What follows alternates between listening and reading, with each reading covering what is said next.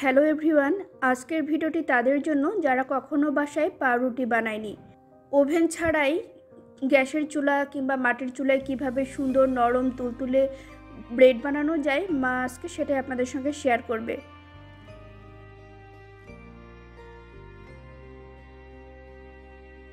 যত ব্যথা ছিল গো আমার প্রথমে নিয়ে নিচ্ছি তিন কাপ ময়দা।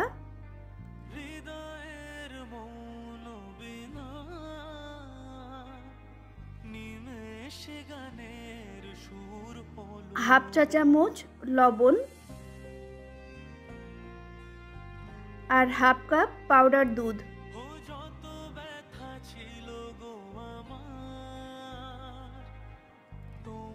এখন দিয়ে দিচ্ছি এক টেবিল চামচ ইস্ট আর তিন টেবিল চামচ সুগার।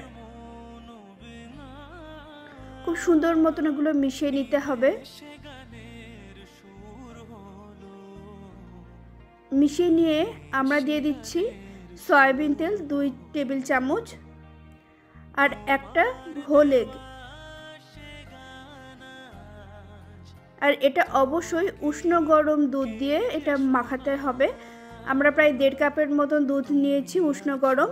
উষ্ণ গরম দুধ দেওয়ার কারণেই কিন্তু ইস্টটা খুব ভালো মতন কাজ করবে। আপনারা চাইলে আলাদাভাবে ইস্ট আর দুধ মিক্স করে নিয়েও তারপর এখানে অ্যাড করতে পারেন।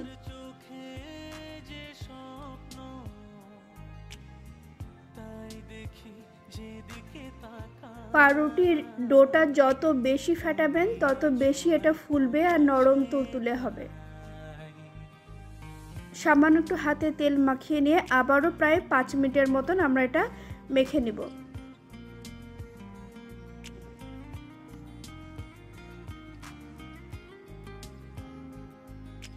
আমরা ততক্ষণ পর্যন্ত এটা মাখা থাকব যতক্ষণ না এটা বোলের গা থেকে এটা সরে আসবে।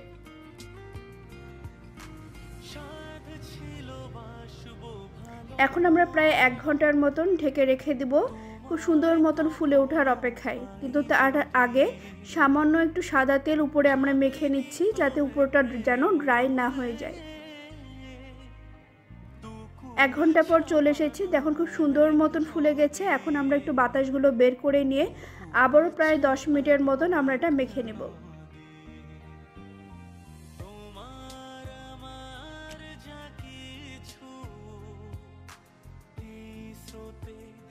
এসো না ভাষায় তুমি আছো এত কাছে। এখন আমরা পছন্দ মতন শেপে আমরা বিভিন্ন ধরনের আমরা ব্রেড করব। প্রথমে আমরা চার পাঁচটা ডোয়ের মধ্যে চকলেট দিয়ে দিব।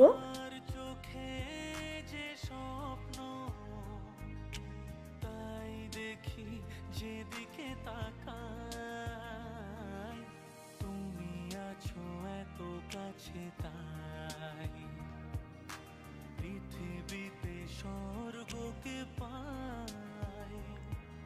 এবার একটা প্যানে আমরা একটা কাগজ গোল করে কেটে নিয়ে তার উপর সাদা তেল আমরা একটু ব্রাশ করে নিচ্ছি যেন সেটিংসটা ভালো থাকে এবং লেগে না যায় পাউরুটি।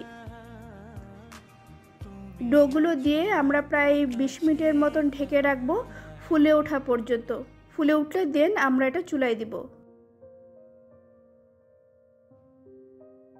এখন আমরা একটা ডিমের সাদা এবং কুসুমের অংশ পুরোটাই সুন্দর মতন ফেটিয়ে নিয়ে এর উপর ব্রাশ করে দিচ্ছি। এটা ব্রাশ করলে যেটা হয় উপরে কালারটা খুব সুন্দর আসে। এখন আমরা একটু তিল এর উপর ছড়িয়ে দিচ্ছি।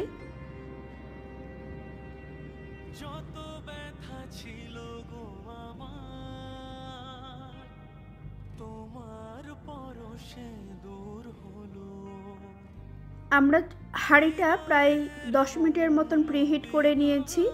এখন একটা সাদা কাগজ দিয়ে দিচ্ছি, একটু মোটা কাগজ, যেন ডিরেক্ট পাউরুটের গায়ে তাপটা না লাগে। তার উপর র্যাক দিয়ে, ঢাকনা দিয়ে আমরা খুব ভালো মতো ভারী একটা জিনিস দিয়ে দিব, যেন বাহিরের বাতাস ভেতরে না যায়। প্রায় পনেরো মিনিটের মতন আমরা এটা ভালো মতন বেক করে নেব।